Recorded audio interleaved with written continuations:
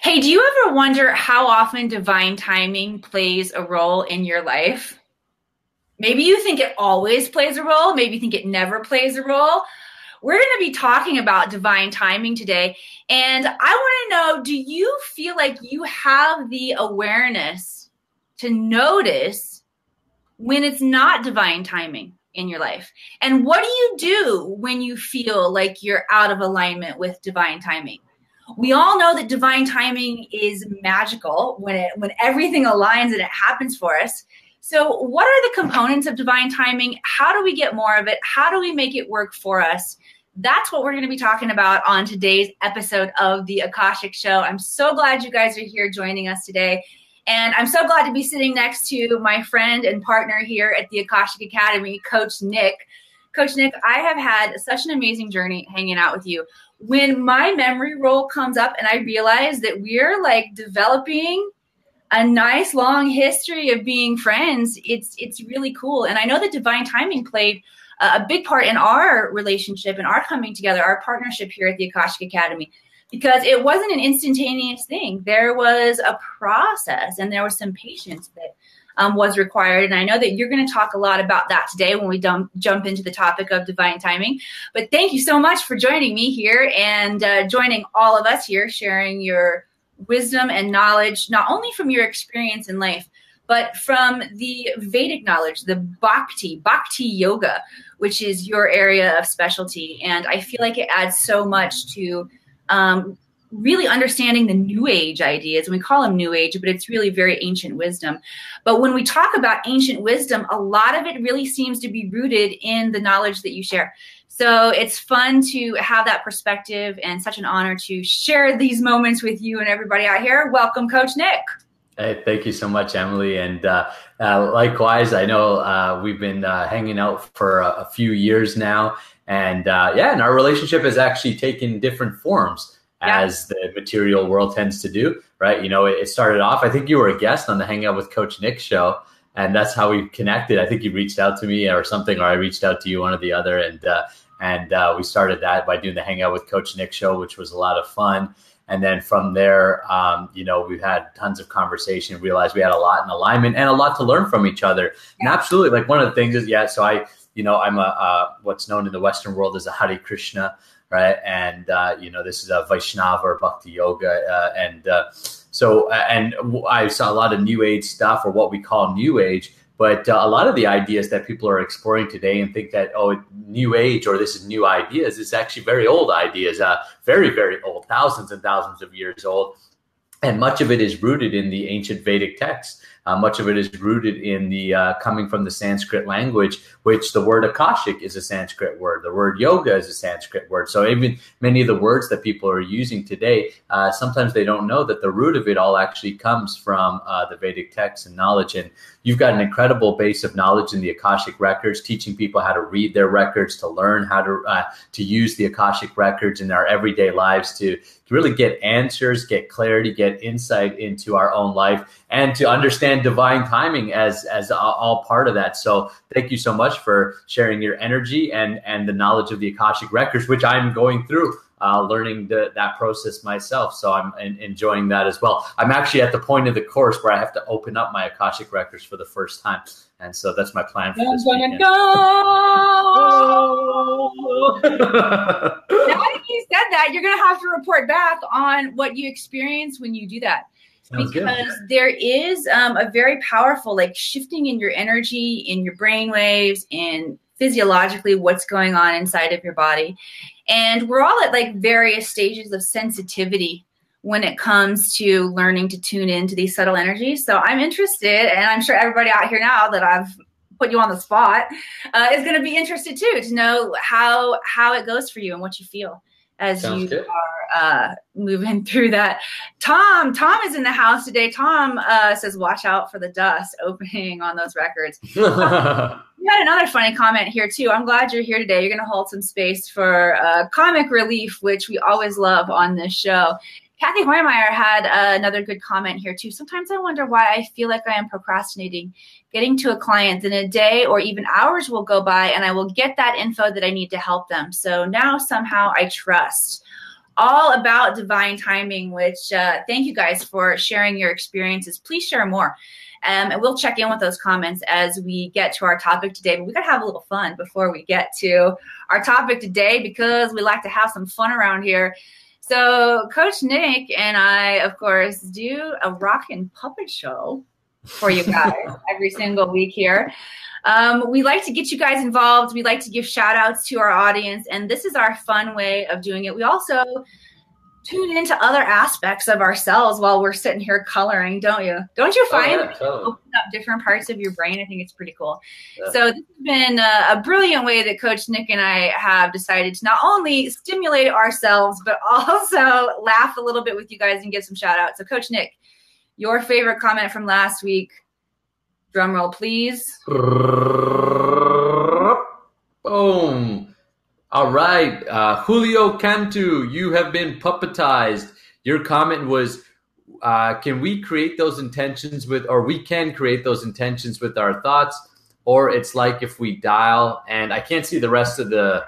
Hold on, let me say I can't see the rest of the comment. Oh, let, let me read it now. Can we create those intentions with our thoughts, or is it like if we dial and we are waiting to receive it, like you mentioned. Now, last week we talked all about the active part of receiving. So, what does it mean to receive? Receive abundance, receive you know messages. How, what, is, what does it really mean to receive? And what is the active part of receiving? And uh, Julia uh, left a, uh, excuse me, Julio left a, a nice comment there. Uh, you know, just talking about intention and uh, and waiting to receive, as you mentioned. And uh, so, thanks so much for connecting in and tuning in. You've been puppetized, my friend. All right, the next member of our amazing audience out there, which by the way, you guys, share this out real fast. Share this, like this, heart it up, say hello if you haven't commented yet. Because as you interact more, Facebook will put this in more people's news feeds. And what we're talking about today, divine timing, is just spreading the light, spreading the wisdom, pre- spreading the perspective. So uh, let's grow our audience a little bit here. And for our second puppetized member of our crew today, Karen Sherman. Karen, which you will nice. see exactly why. I'm sorry, Brenda. Brenda Sherman. Take two. Okay, Brenda Sherman. sorry, Brenda.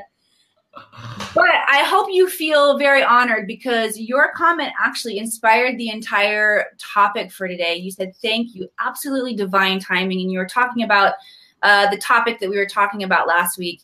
And divine timing is so powerful when you hear just the right piece of information, when you are open and receptive to receiving what is coming in for you.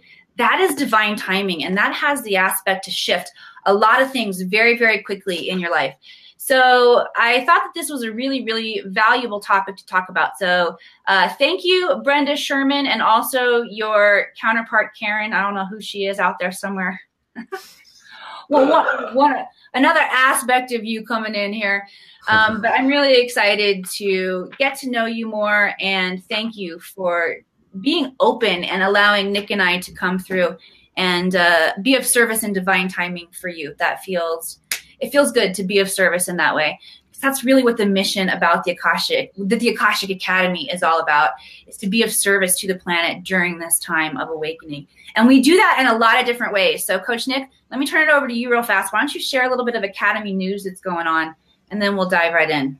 Yeah, sure. Uh, fantastic. So, of course, like you said, our, our, our service uh, to the world is to help people make spirituality a priority. I mean, that's really our overall message. And that's what we're setting up in the academy so that you have different ways that you can truly make spirituality a priority. And uh, from my own life experience, when we make spirituality a priority, this is the essence of life. Then everything else you know everything else springs from that so it's like watering the root of a plant when you water the root of a plant then the whole plant flourishes so in the same way when we water our spirituality and we really give to it then so does our material life you know our finances and our health and our relationships and some of the material aspects that we want in life it really gets to flourish so the one of the ways that we're doing that is uh, you get to meet us in person. We get to go out, and, and, myself and Emily, we go into the community, we speak, we visit different groups. Uh, so Emily's going to be in Truckee, California. That's right. On uh, June 16th. And she's going to be doing an intuitive development workshop. So if you are within the Truckee, California area, or you can make the drive there or fly there, then uh, go ahead and do that. And you can reach out to Emily to learn more about the details. But June 16th, Emily's going to be in Truckee, California, doing an intuitive development workshop. I will be in St. John, uh, New Brunswick, which is in Canada, on the east coast of Canada, on June 13th. And I'll be doing a workshop in St. John, New Brunswick, in Canada, uh, all about bhakti yoga. Um, I'll be sharing a little bit of, I was asked to come in, share a bit of my story, and we'll be sharing lessons along my own story to help you understand why bhakti yoga is actually the essence of spirituality and all spiritual practices stir from bhakti devotion getting and yoga union coming in contact with uh, the divine right? So yoga means union. So i'm going to be giving that workshop june 13th if you want to learn more about the workshop and the location and all that good stuff then uh, you know send us a message here on the uh, on the academy page or leave a comment below if you are on the east coast uh, and want to come and hang out with me for an evening that'd be wonderful all right. Second way that we're doing this is online. Now, I've got a uh, for all you healers out there that want to be able to grow your business and really get good at the sales process. Because to really make an impact in this world, you got to be able to sell. Even if you're doing this non for profit, even if you're doing this for no money, selling, all selling means is to influence to be able to get people to understand why what value you bring to the table. So if you want to really get good at your sales process as a healer, then join me for the 5-day sales challenge for coaches and healers. We start this Monday, so June 4th, we're going to get started. It's in a, it's happening inside of a secret Facebook group. There's going to be five training videos, bonuses, and over $1300 worth of prizes that we're going to be giving away and access to different programs and such. So if you want to learn more about that, say, hey, Nick, tell me more about your challenge, and, uh, and I'll send you the link and I'll send you a message as well. Thirdly, come hang out with us every week inside of the Akashic Academy. That would be awesome. Both myself and Emily do workshops inside of our Akashic Academy community. Guys, it's $11.11 to officially join the Academy and get access to eight workshops every week, plus new moon and full moon ceremonies. So come hang out with us every single week. We're making this a formal invite for you to join the Akashic Academy. Uh, Emily teaches uh, different intuitive development uh, skills and is channeling from the Galactic Federation of Light. Wonderful messages for everybody coming through there as part of the Academy. And every single Monday, I teach a mindful living classes to help you become more present in your life and really bring the essence of, of, of yoga through in your every single uh, in your everyday life. Uh, even if you can't tune in live, they are recorded, so you're able to access those classes long after the recording's done. I think that's it for Academy News. Emily, let's get into today's subject, which is all about divine timing. Why don't you uh, give us your thoughts on what is divine timing and how does it play out in our everyday lives? Yeah, I think that's a great place to start because as uh, Brenda shared, she was experiencing a moment of divine timing. And so many times we think of divine timing as not every single moment that's happening in our life, but it's that one moment where everything lines up and we're very open and we can receive. And that is a true aspect of divine timing. We do tend to recognize divine timing um, when it's bigger moments like that in our life. So let's start there and kind of look at what aspects of ourself are really coming into alignment there that create that space for us to observe divine timing. Because here's the here's the kicker, the truth is every single moment is divine timing. We just don't necessarily have the ability to recognize it. But let's take a look at those big moments that we can recognize, that we do feel when we feel kind of like that. We got struck by uh, that divine energetic lightning and all of our senses come into alignment. Generally, what's going on is that we are seeking in some way. And because we're seeking, we tend to be more open and receptive naturally in that state. Did you know that the, the, the second you ask a question in your mind, your brain begins to seek the answer? So naturally, it becomes really important what questions you ask, which is one of the important things to recognize when you're using the Akashic Records because it's a question answer based system, right? So if you're going to get an answer to a specific question, you better make sure that the question that you're asking is the is what you really want the answer to. But if you are seeking, you are naturally putting yourself in that open and receptive state. Generally, we we've become emotionally vulnerable as well. We've become exhausted at being very uh, hard and very determined. Basically, we're hitting a point of surrender in our emotions, in our thoughts, and in our willingness to see new possibility. Okay, that is what we're experiencing that opens us to divine timing.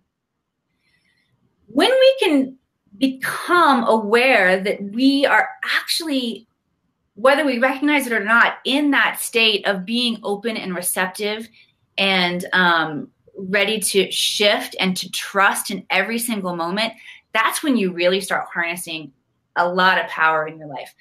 But it's important to start looking at, like I said, the dynamics of the moments that we do recognize, because this is so often how it is in our life. Things are happening subtly and we don't recognize them. It takes a big event to get our attention.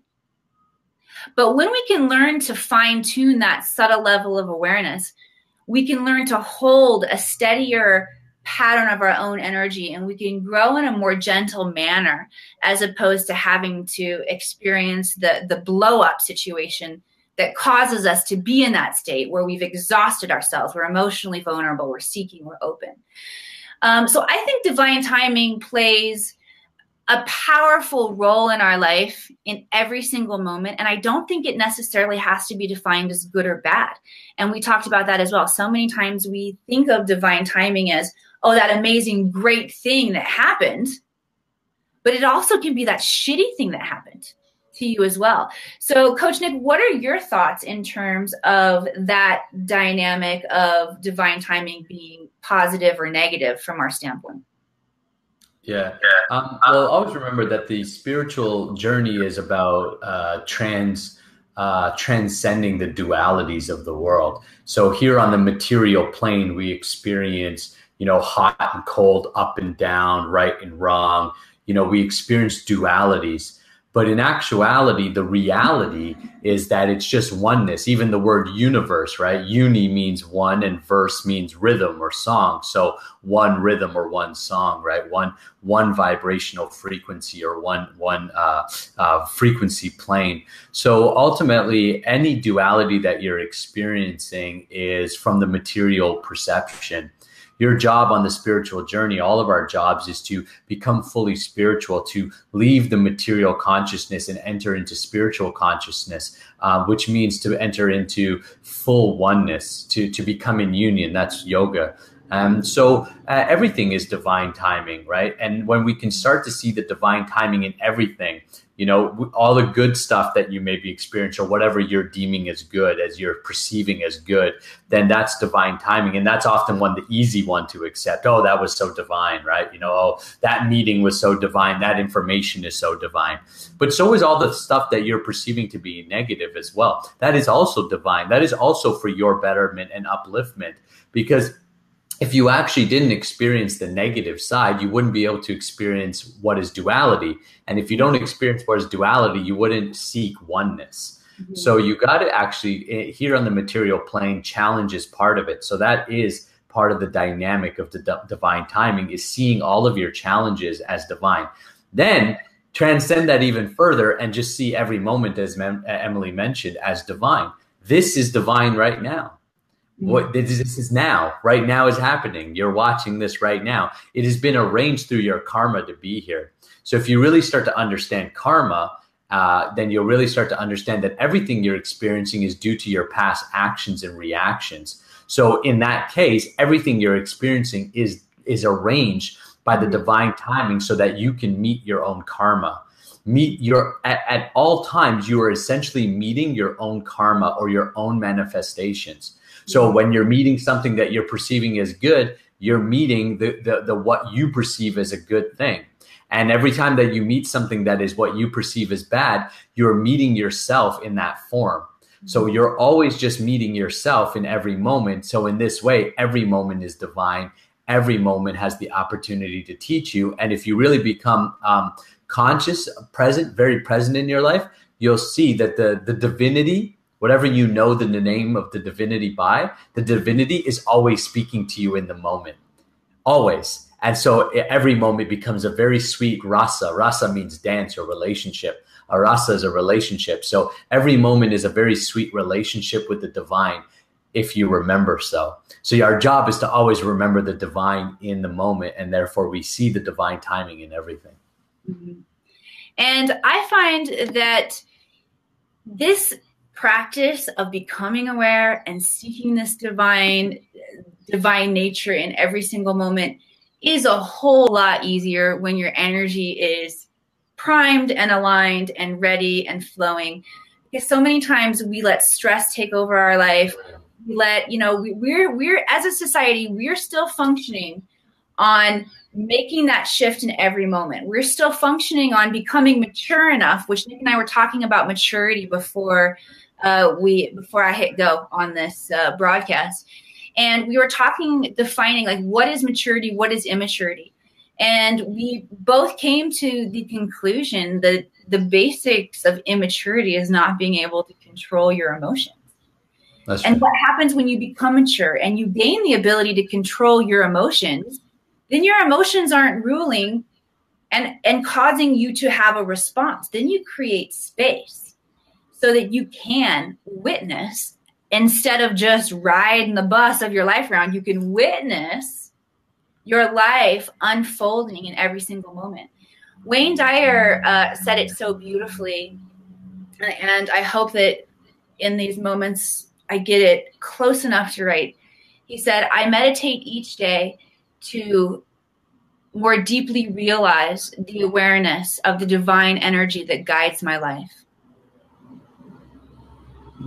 And that's why the meditation, oh, I just got chills. That's why the meditation practice is so important, you guys, because it creates that space for maturity. It creates that space for awareness. And right now, for the activation that I want to do with you guys, I just want to go through and we're going to do a little bit of a, a pineal gland activation. That's the third eye. Because talking about maturity, we generally think of our own personal human experience through maturity from babyhood all the way up into adulthood. There's really something interesting that happens to our bodies as we go through that process to the third eye. And that is, it begins to calcify, it begins to close down. We're born with an open, intuitive gift naturally. And when our attunement and our third eye energy is open and can feel that connection and receive that connection with spirit, we naturally stay in those moments of awe, those moments of divine recognition of how our life is unfolding in every moment. But as we grow and mature, what happens because of all kinds of many different reasons, because of your environment, because of toxins you're taking in through your food, because of thought processes, because of areas where we enslave ourselves as a society, because of just simply not using our intuitive gifts and skills and abilities and thinking that is a little too witchy, the pineal gland begins to calcify. And so we're not getting the level of maturity spiritually that we could have at this moment if we did a little bit of energy work and cleared out some of some of that residue around the third eye so that we can uh, have a, a more clear connection. So that's what we're going to do today. We're going to do a little third eye activation. We're going to go into the quantum state and uh, or a meditative state and do a little bit of work here. But here's what i also want to share with you guys. It's just a very physical quick exercise that you can do. Nick you ready to do it with me? I'm ready. Like your finger Put it up on your third eye.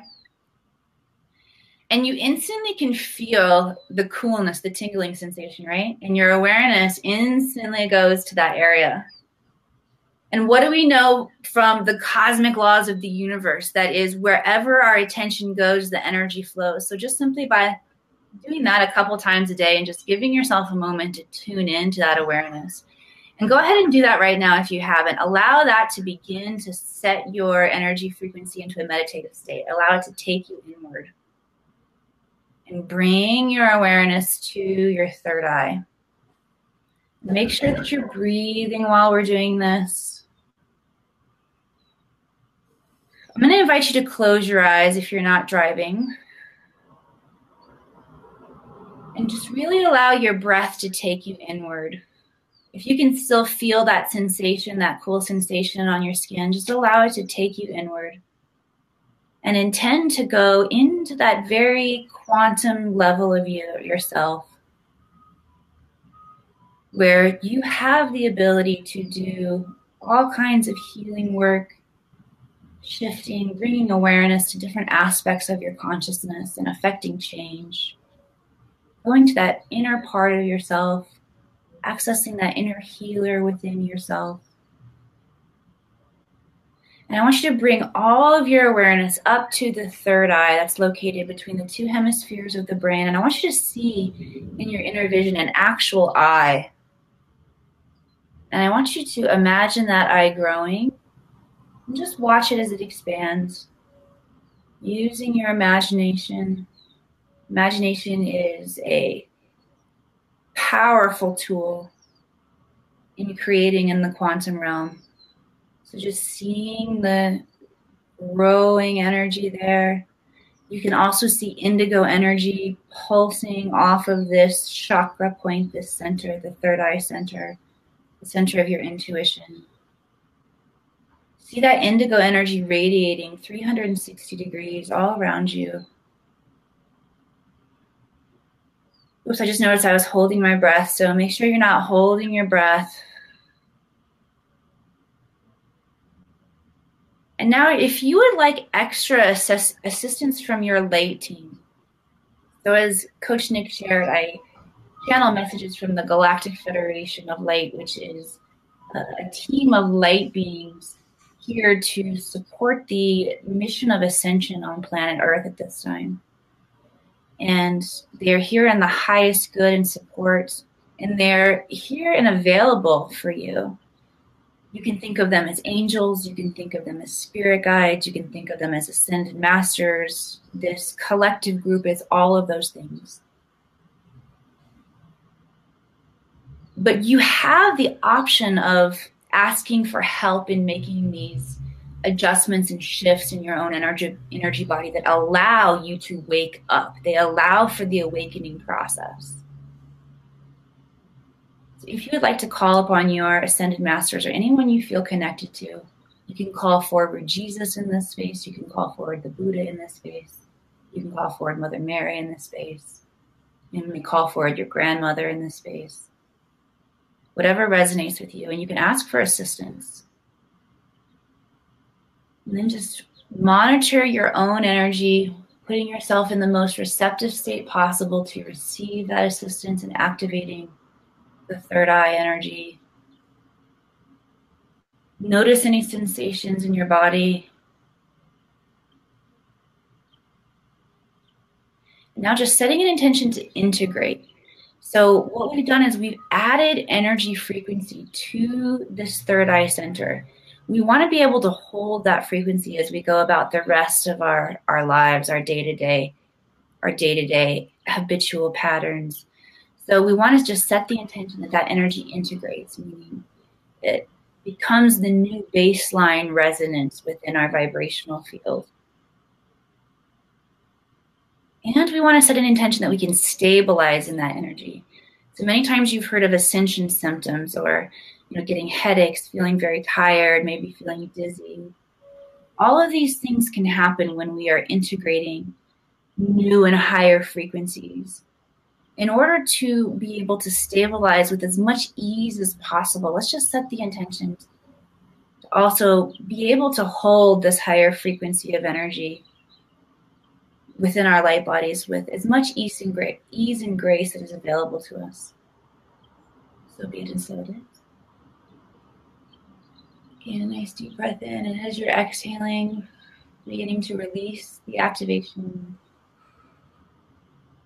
Just bringing your awareness slowly back into your body. Moving around a little bit.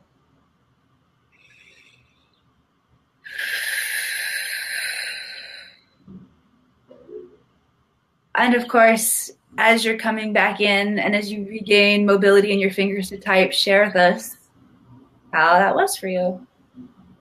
How was that for you, Coach Nick? Oh, it's wonderful. Nice and tingly all around. And uh, yeah, just very, uh, very inwardly focused, which is uh, which is really nice, very peaceful. You want to know something really funny? Hmm. oh no! I don't know if I do. All right, you guys.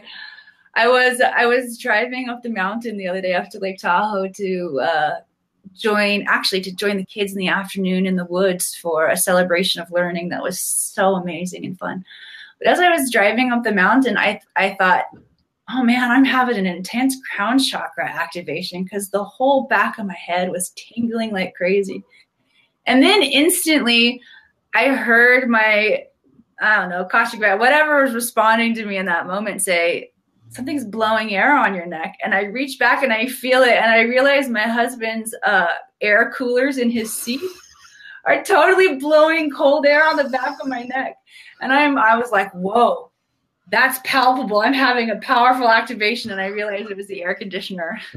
well, it says that the, the divinity can use anything to help us grow, even our air conditioning units. and then I had a good laugh at myself. Um, because it made me laugh. It was funny. All right. It looks like you guys are feeling good out there as well. Thank you guys so much for uh, for uh, hanging out with us. Teresa Warren said, "So cool." Matt handed me a lotus from the Nile River. Teresa does an amazing um, astral traveling guide where she takes you to ancient locations where you can receive downloads and you can receive the energy from that location. And ancient Egypt is one of her hotspots as well as uh, ancient Atlantis. So if you guys haven't connected with our community manager, Teresa Warren, please make sure you reach out, send her a message, check out what she's got going on because she's undergone a powerful transformation since learning to read her Akashic records. And the space that she's stepping into now to share her gifts and skills and abilities is profound. So I really want to give Teresa a shout out. Guys, go connect with Teresa reach out to Coach Nick and I as well. Like I said, we have workshops, private workshops all week long that you guys can tune into. If you like hanging out here today, if you feel good, if you feel like you had a bit of a shift, this is only the tip of the iceberg. So come hang out with us. I'm going to leave a link inside the comments here of what's going on inside the Akashic Academy and how you can join us inside of that space. Have a great rest of your week, everybody. Tune in on Sunday. Sunday's a big day. We've got spirit sessions, which that's Teresa Warren show. Teresa Warren, Rhonda Elliott, and Bex Marie come to you with spirit sessions, a view of the light every Sunday morning, followed by Kathy Hoymeyer, who talks about nourishing our multidimensional bodies. And then later on in the evening on Sunday, Janelle Cameron gives us the Ascension Energy Report. So it, it's a great day to tune in, hang out, get some knowledge, some support, some information. So we'll see you guys on Sunday. Bye.